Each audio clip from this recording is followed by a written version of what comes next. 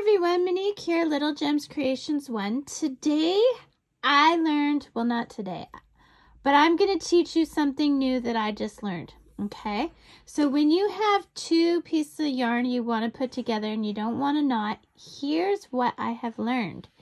So you put your needle on and you leave a little bit of a tail, not much.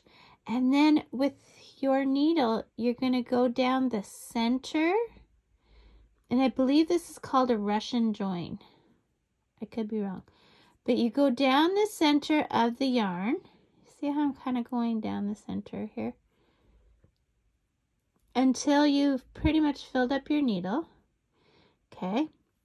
Then you pull it. You want to hold this loop. You don't want to lose this loop. So I'm going to bunch this all up.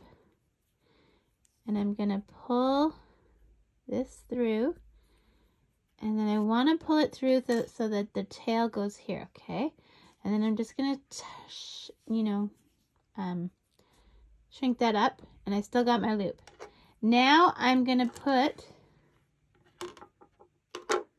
I am going to put my other end on my needle. I'm going to put it through the loop I created. That's a little bit too long of a tail. I'm going to go lower. Okay. Bring that to the needle. Then I'm going to do the same thing and I'm going to go back on the yarn and I'm going to go through the middle of the yarn. Sorry, I didn't mean to go out of focus there. So I'm going through the middle and you want to do like most of your needle. Okay, and then bring that all down, bring it through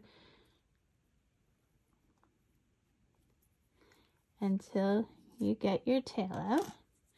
Okay, then straighten that up.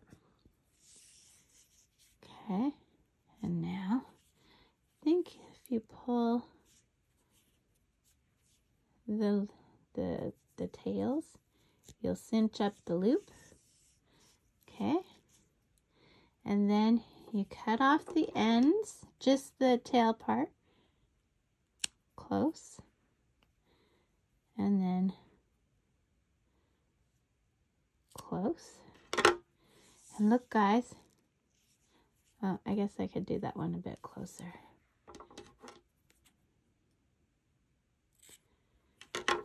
You don't have, dang it, I'm still learning.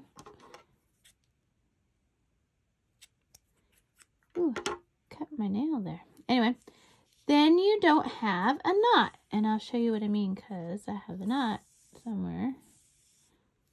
Ah, see? You don't have a knot like this. You have that. So much better, right? Anyway, I just wanted to share my knowledge. So thanks for watching. Have a great day. Check that description. I'll put neat stuff in the description. Bye now.